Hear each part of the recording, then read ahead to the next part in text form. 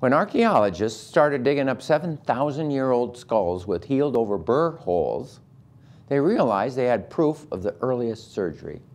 Historians believe that fractured leg bones were splinted before that and that stitching together of laceration wounds probably is as old as stitching of clothing, which is in the 150,000 years ago range.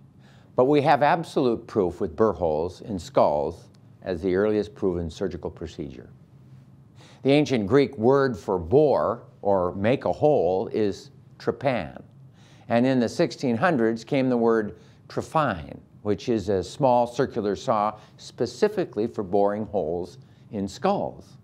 Some have speculated that trephination popped up all over the world because collapsed and pushed in skull fractures from club trauma during battle were able to be pulled out after drilling a hole so one could get a finger inside the skull or a hook inside and pull it out.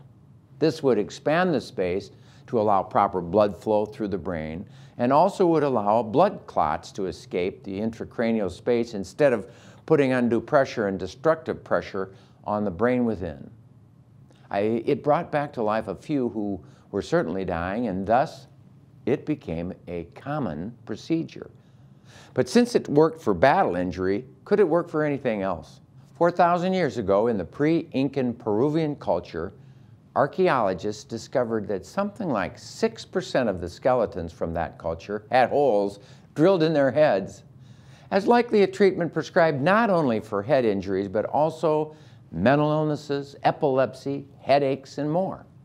By comparing healed holes in skull versus trephined holes without healing before death, we think that about 60% survived such invasive surgery in this time when there was no anesthesia, no sterile technique, and no antibiotics.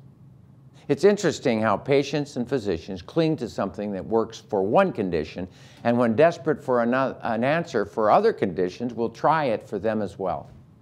Trephination became a wrong treatment for desperate people and physicians who were willing to go beyond the scientific proof. Of course, modern brain surgery improved with the development of anesthesia in the early half of the 1800s of sterile technique in the second half of the 1800s, the discovery of X-ray and MRIs and CAT scans in the late 1900s.